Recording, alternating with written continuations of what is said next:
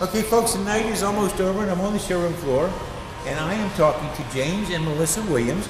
They are going home in a 2014 Expedition, certified. They live right here in Olive Branch. They've been married 14 years, which is why they're smiling like they are. A couple of quick questions, guys. First off, how did you find our dealership? Now, I know we're close by in Olive Branch, but how did you find us? You guys just are very close to our house and we drive by all the time, so we thought we'd come in and see what you had. Okay, good. We're glad you did. Where did you previously purchase your vehicles, if not from us? Covington Pike, Nissan. Nissan Landers, maybe. Okay. What made you decide that this is the place you want to spend your hard-earned, well-earned money? This Yep. was convenience. This was convenient for us. Oh, you mean the Landers? No, from here, from us. Okay, yeah. time. This was because of convenience. Your Okay. location. Okay.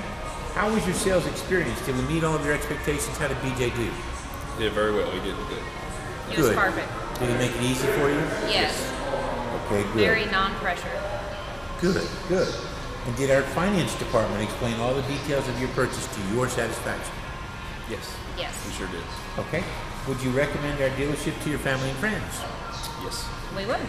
And final question, because I know you guys are hungry. How would you summarize this experience if you had to explain it to somebody who was thinking about coming here? How would you explain the whole experience here? Uh, no pressure. Uh, easy to deal with.